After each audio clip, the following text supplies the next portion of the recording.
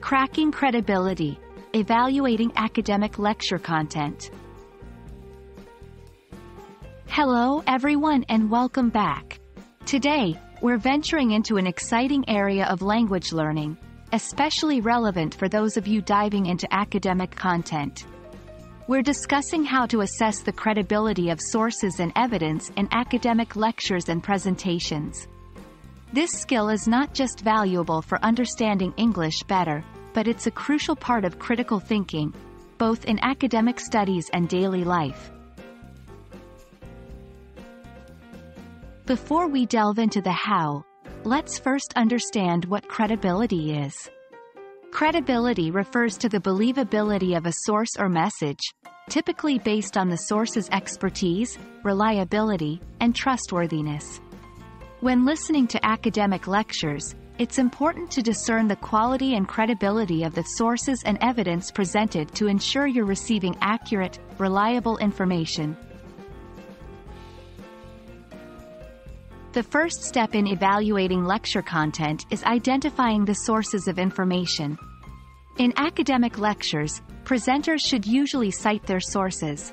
These can be research studies, books, or articles by other scholars recognize that not all sources are created equal.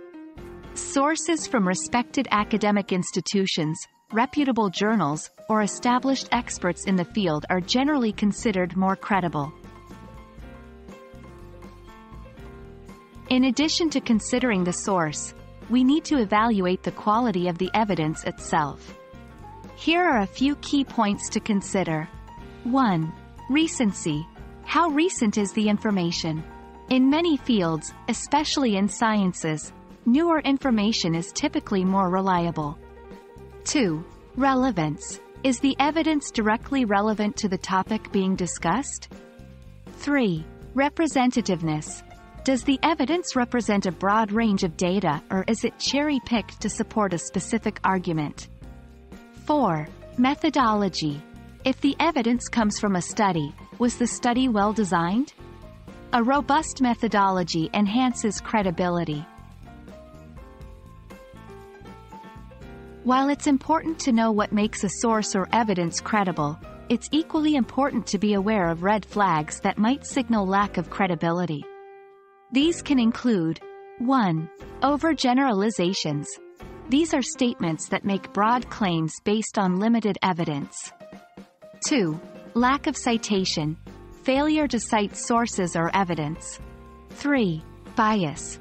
The presenter leans heavily towards one perspective without considering or addressing opposing viewpoints. And that brings us to the end of our exploration into evaluating the credibility of academic lecture content. Remember, effective listening involves not just understanding the words and ideas, but also critically assessing the credibility of those ideas.